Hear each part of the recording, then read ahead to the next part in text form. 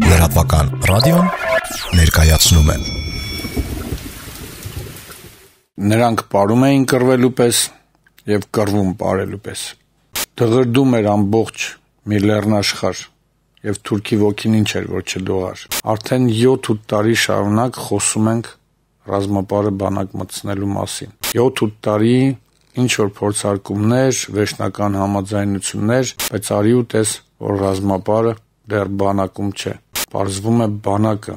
իր լավագույն զինվորին զորակոչելու կարիքը չունի։